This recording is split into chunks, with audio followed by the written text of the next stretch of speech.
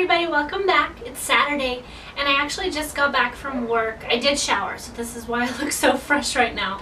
I did work from 9 to 2 doing a lot of different projects at on campus, so if you want a sneak peek, uh, stay tuned. So here are the notebooks that I bought. I bought about a hundred notebooks in four different colors, but I really only need three different colors.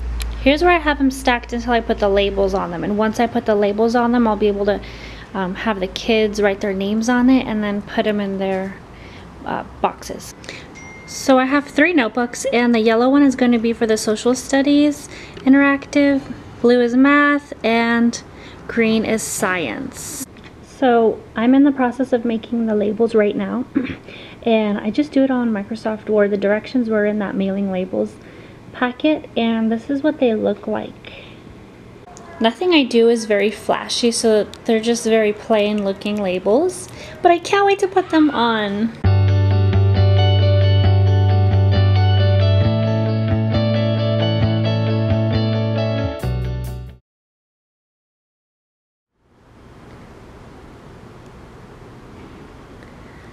Here are the math buckets I need to take care of for the centers. I really only need to do chapters 1, 2 right now.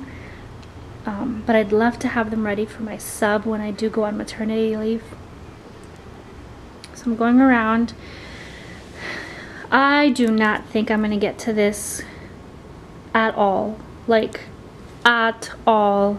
I might keep those little buckets, those green buckets there for the genres and I don't know try to do a little each week but this is not a priority.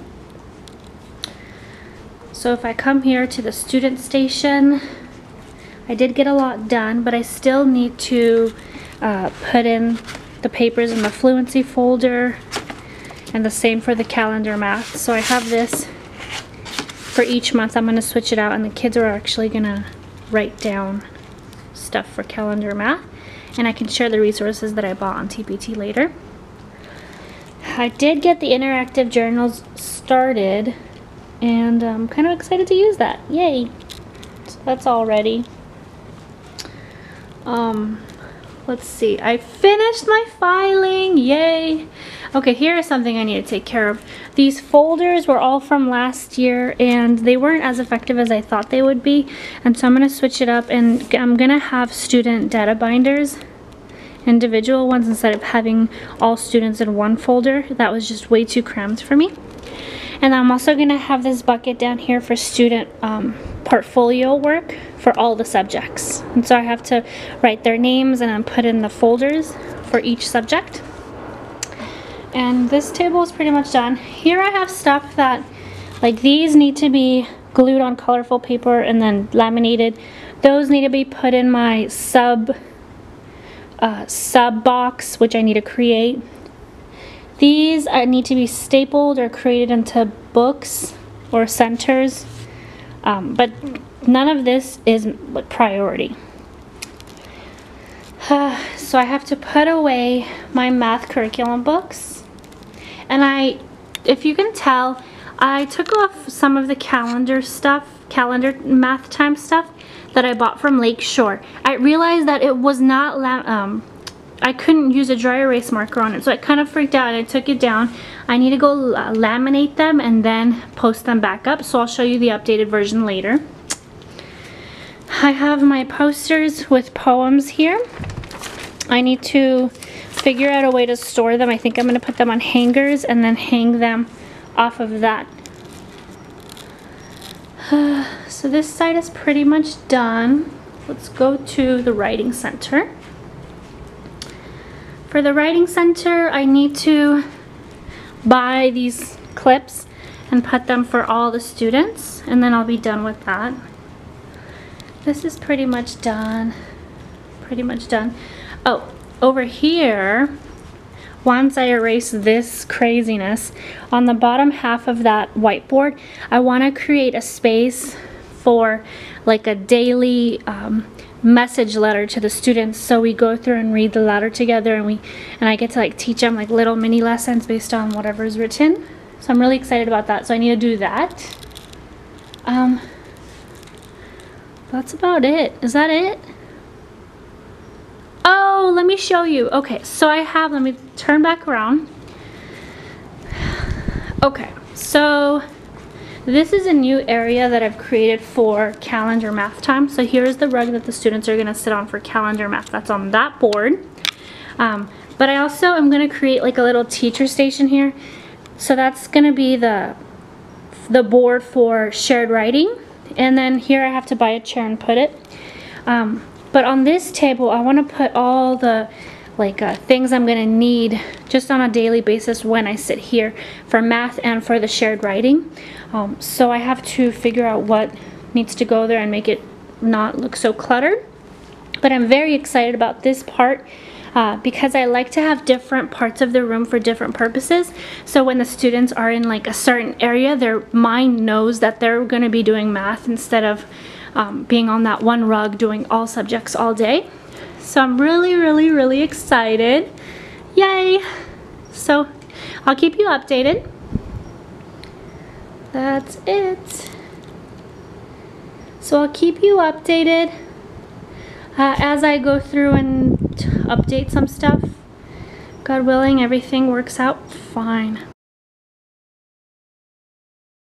Okay, so an hour has passed and I got a few things done. Let me show you. So for the fluency folders, I was able to make copies um, of reading strategies to put in. And then for the calendar math folders, I made more copies to put in for the month of August. Of course, the books have not been touched. So let's go back this way. Okay, so I created a subfold, subtab, um, and I filled it with some resources. I need to take some of those out and I still have to fill more but I, I figured I'll do it like with time because I don't plan on being out very soon. And then I also organized my uh, small group reading literacy centers um, so when I'm with the students at this table sorry it's a mess right now um, I have everything that I need or will need. So I have my over there I have my two like mini books for phonics I have all the leveled readers that I'll be reading. And then I have more treasures readers that I'll be reading.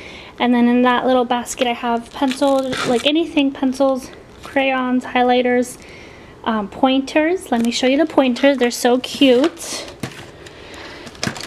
I got these, I think, from the dollar store. Uh, I think eight of them for a dollar, and so they're awesome. And then I also have these two little baskets and the baskets have one basket has the let me see if I can focus. Okay so this basket has all the sight words that we go through throughout the year. And each of these sets has 10 lists. And so if the kids can read it then um, if they can read an entire list they go to the next list and they stop when they can't read one of the words. And then I just give them a little sticker if they pass a list. And then of course I move their clip up from the will you unlock the next word list. So I need to make clips for those. Okay, let's see, what else? Oh, I managed to snag a different table. So I don't have a circle table anymore.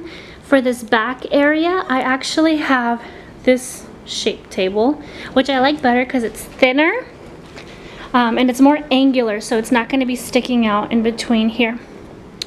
Okay, I also made copies.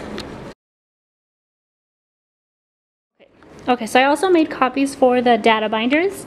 So I got some sheet protectors, data binder covers, um, more covers, and then the spine. And I put 10 or 12 binders over there, so I'll probably have a couple students per binder. Um, it's just all I had in the classroom, and I'm fine with it. So let's get started with putting these together. Okay, so I'm putting together binders for data folders. Um, I like to be lean and organized and not really waste a lot of time year to year. So I'm doing maybe two people per binder and most of the things like the tab, the writing tab, uh, writing, math, and reading tabs will be in sheet protector so I won't ever have to change them again. And the only things I'll really have to change are the covers, the spine, and all the like reproducibles in the data binder.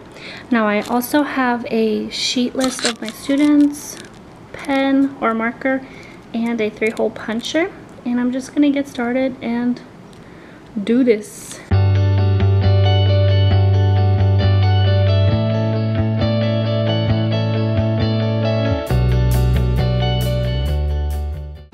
Okay, so I finally got all the data binders together. Here is one example. So I open it up, cover, and I have little tabs right here with kids' names on it. So I could just flip straight to them. And I got the tabs from 99 cent store. And then in each sheet protector, I have one that says reading, writing, and math. And so that's where I'm gonna place all the sheets that I'm gonna have data on.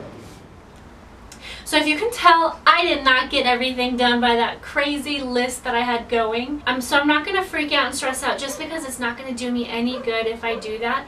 And so my goal is to just go back on Monday and work on three specific things that are like major priorities and trying to get it done. If I don't get it done, that's okay. I'll just keep doing it until I finish. So yeah, that's about it. Hopefully the next video is going to be a little bit more fun. I want to do a what's in my bag. So look forward to that. Until next time.